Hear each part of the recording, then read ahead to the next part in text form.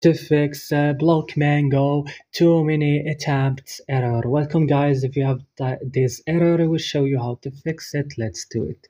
So just open the settings of your device first. Click on apps option and search for Blockman GO and click.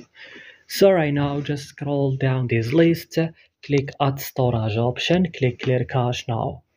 And back after that click right now at uh, stop and click OK. Go to Play Store or App Store, update Blockman GO, and right now restart your device, and that's it. So don't forget to like, also subscribe, and bye.